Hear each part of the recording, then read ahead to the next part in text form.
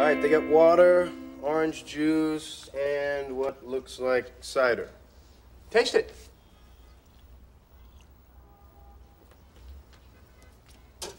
Yep. It's fat. I drank fat. yeah, I know. I did that two minutes ago.